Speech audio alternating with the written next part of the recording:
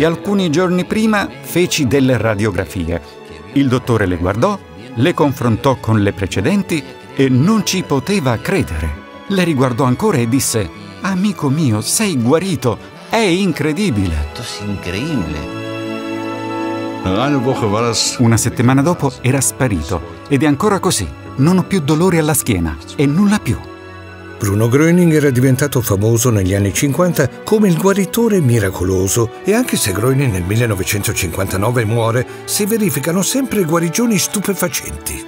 Poi vado a questa conferenza informativa e sento parlare di una forza di cui fino a quel momento non conoscevo l'esistenza e poi esco di lì sana.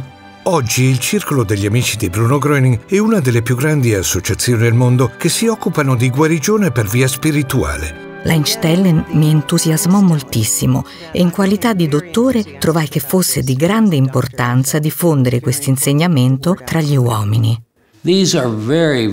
Sono idee tanto, tanto piene di forza ed è importante riconoscerle.